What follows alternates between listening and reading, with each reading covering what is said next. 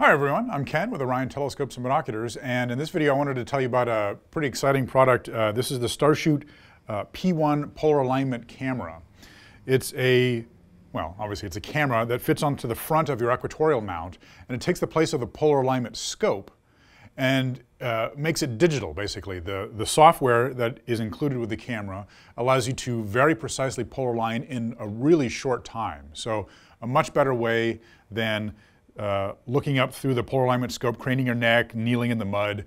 Um, you don't have to look through anything anymore. You just watch the computer. And the step-by-step -step instructions in the software get you very close to polar alignment. The rough polar alignment is about five arc minutes, and then the fine polar alignment, which can take a couple of minutes more, can get you up to 30 arc seconds of accuracy. So first of all, let me tell you about the camera itself. It's a very small unit, weighs only four ounces. Uh, it fits into the front of your equatorial mount and it comes uh, as a package with different adapters for different mounts. So let's say you had a SkyView Pro, you'd get the camera and the adapter for the SkyView Pro mount. We've got adapters for uh, the SkyView Pro, the Sirius, the Sirius Pro, the Atlas, the Atlas Pro, and the HDX mount. So pretty much all of our uh, German equatorial go-to mounts uh, are uh, capable of supporting the P1 camera. It comes in two parts, the camera itself and this adapter that you see here. There's actually two pieces to the adapter. One attaches to the bottom of the camera, like I've uh, already attached here, and the other is on the mount. The uh, adapter comes with its own cap too, so when you're done, you can attach this back on and, um, and cap up the hole when you're not using it. But otherwise, it's a quick attachment. Camera just bolts on, tightens down with a set screw, Plug in the USB uh, cable and you're ready to go. The camera features an 11 by 8 degree field of view and it's already pre-focused. So it's looking at the uh, north sky. You basically just eyeball north, get Polaris in the field of view of the camera on the laptop screen.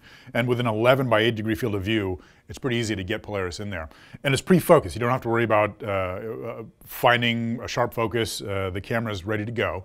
You'll see Polaris on the screen and then you follow the step-by-step -step instructions on getting it exactly polar aligned. There's two things that the software checks for, that the camera is aligned with the axis of rotation, and you don't have to worry. If you just bolt this uh, adapter on and slap the camera on, it's good enough. The software can figure out any residual little uh, misalignment between the center of axis of the uh, RA axis and where the scope is pointing. And then it looks at the sky and analyzes the star pattern around Polaris to find exactly where uh, the North Pole is. So the first thing that the software uh, asks you to do is find Polaris in the field of view. You tell it which one's Polaris. And then you click on another star nearby Polaris. Um, we don't normally think of those other stars as being useful for polar alignment because we're just looking at Polaris.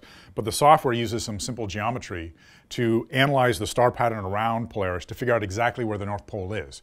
Because remember, uh, the North Pole is something like 9 tenths of a degree away from Polaris. It's not exactly on the star. So the software analyzes it and figures out exactly where it is. So the first thing it asks is to find a star nearby Polaris in the field of view of your uh, camera. You click on it, and then it'll have you rotate the telescope in RA by 30 degrees. So I'm doing it here by hand, but it'll uh, ask you to do it with your go-to system. Um, it's a bit more accurate when you have the axes locked and you're slewing it.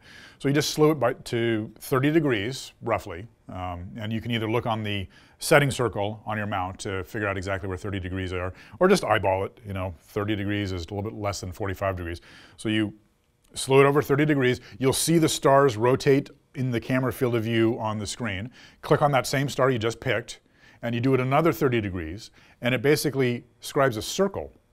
And when you click on that star again, it analyzes the image, it finds out where that circle is, and so now it knows exactly where the center of the axis of your RA uh, is on the mount. And so now it's going to accurately know exactly where Polaris should be put in the field of view.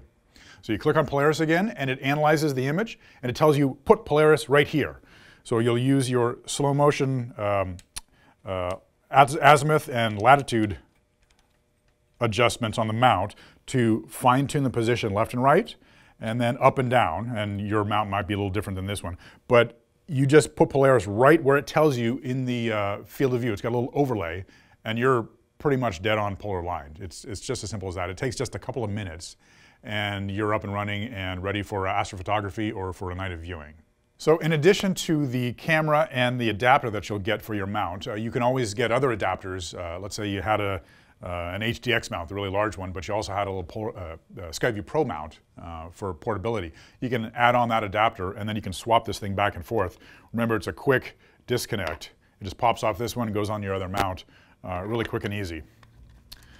So in addition to the um, scope and your adapter, you also have a little uh, thread-on cap that has a lanyard, so you're not going to lose it. I like to just thread it on and take the lanyard and hook it over the set screw there. That way, when I'm using it, I can just unthread it and the cap just dangles down. You're not going to lose it there.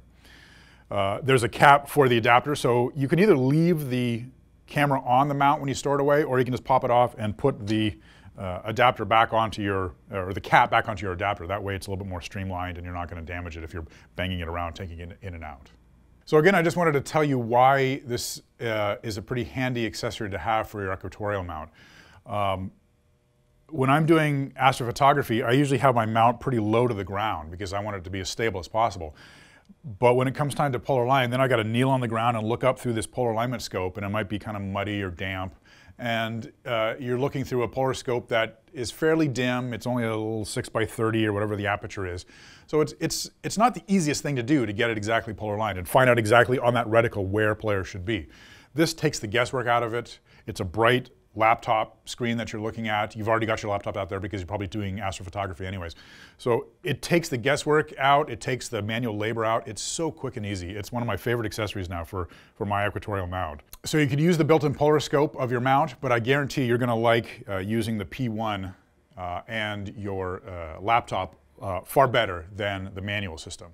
All right, well there you have it. This is the StarShoot P1 polar alignment camera. Thank you very much. Clear skies.